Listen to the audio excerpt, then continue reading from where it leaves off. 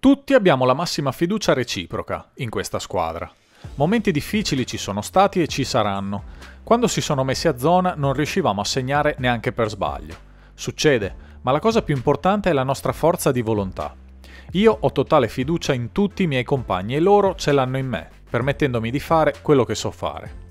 Joe si è fatto avanti nel momento più importante della gara, Boyan ha difeso alla grandissima, Royce sta facendo lo stesso dall'inizio della serie, Rudy lo conosciamo tutti e anche stasera ha preso i suoi soliti 20 rimbalzi.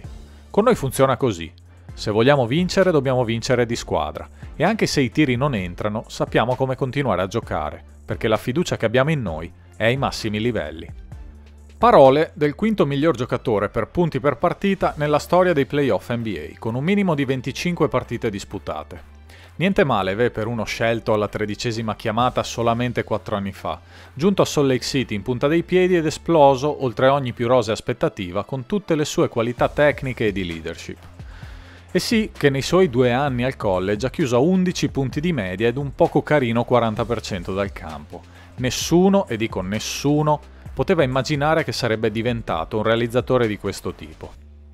I Jazz volano sul 2-0, sfruttando appieno le due partite in casa, ma comunque rischiando sia in gara 1 che in gara 2 di capitolare contro dei Clippers apparsi stanchi nei momenti chiave. Saranno le sette partite con Doncic o sarà che cominciano sempre con un deficit in doppia cifra e sono costretti a dar tutto per rientrare. Fatto sta che Sponda aiuta quando la palla pesa, difficilmente in mani diverse rispetto a quelle di Spida. Ma gara 2 lancia dei messaggi importanti ed uno lo ha detto chiaramente lo stesso Mitchell a fine partita. Quando i Clippers si sono messi a zona non riuscivamo a segnare neanche per sbaglio. Questa è chiaramente la prima chiave, non solo per gara 3 ma per tutto il resto della serie. I Clippers non stanno perdendo in attacco, sebbene siano poco piacevoli da vedere giocare come al solito.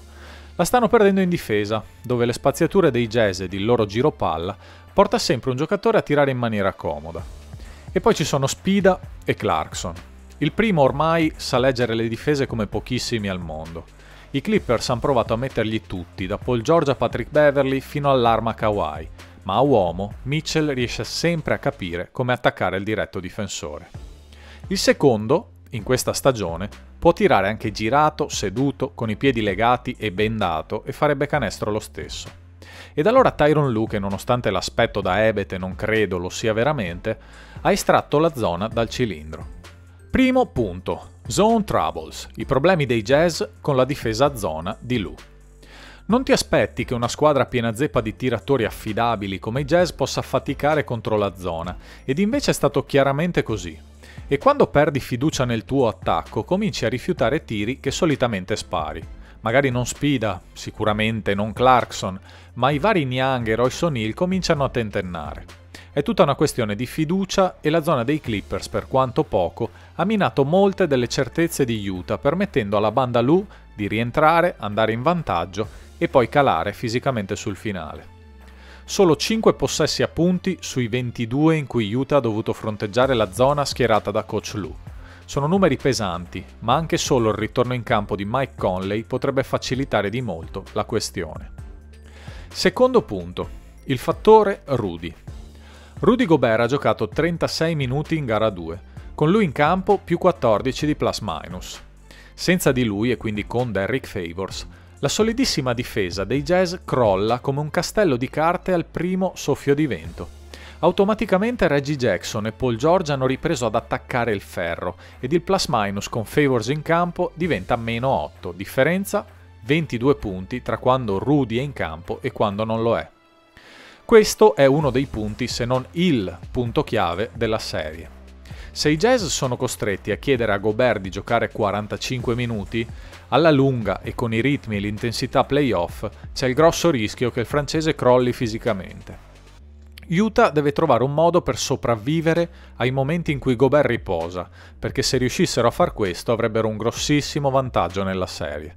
Se Favors non rende, perché non provare una small ball totale con 5 piccoli in campo? Un modo comunque devono cacarlo fuori, ma questo è pane per Queen Snyder. Terzo punto. Continuità e percentuali. I Clippers non hanno tirato male, ma il problema è che con la difesa a uomo i Jazz hanno tirato con percentuali paurose. Questo è il vero grandissimo dubbio sull'esito di questa serie. I Clippers perdono meno palloni, prendono più rimbalzi, soprattutto offensivi, e tirano molto meglio i liberi, oltre ad avere una maggior profondità a roster. I Jazz basano molto del loro attacco, se non tutto, sul tiro da 3.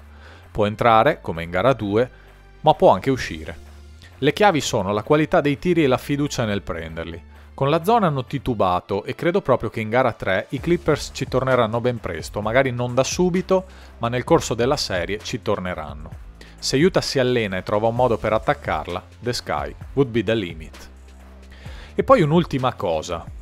Questa run di Mitchell assomiglia sinistramente alla run di Dwayne Wade nel 2006. Wade e Shaq allora, Spida e Rudy oggi. Aggiungete che di Wade fa parte ora della proprietà dei jazz e le circostanze cominciano a starmi parecchio antipatiche. Ditemi la vostra come sempre nei commenti, iscrivetevi al canale ed attivate la campanella per non perdervi le novità targate NBA Revival Zone. Un saluto, il Franz.